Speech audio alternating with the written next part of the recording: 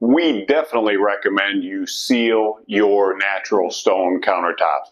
Granite and marble, uh, they definitely need it. We recommend Sealy's. Sealy's is water-based. It's a penetrating sealer. It won't change the way your stone looks. It's food safe once it's dry, one to two hours after applying it. It, it protects against spills uh, and stain soaking into your stone. It won't protect against etching.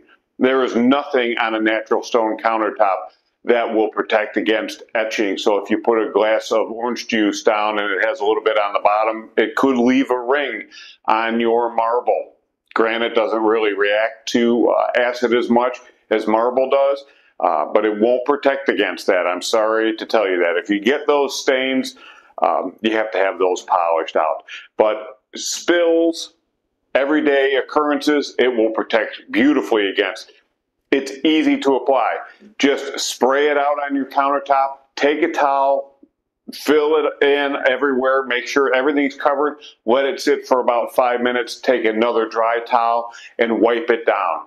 I recommend always when I seal things putting two coats on because if you miss something somewhere, this will fill in that gap. It really is as easy as that. Do it once a year and you should be protected. If you have a lot of traffic or if you have time, do it twice a year. It's not going to hurt anything and it doesn't take that long. Thanks for watching.